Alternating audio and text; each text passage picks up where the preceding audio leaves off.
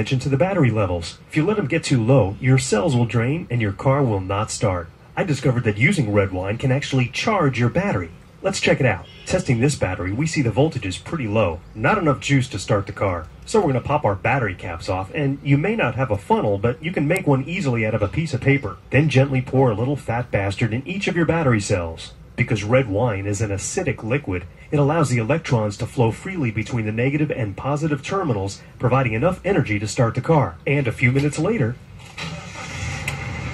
Fat Bastard to the rescue.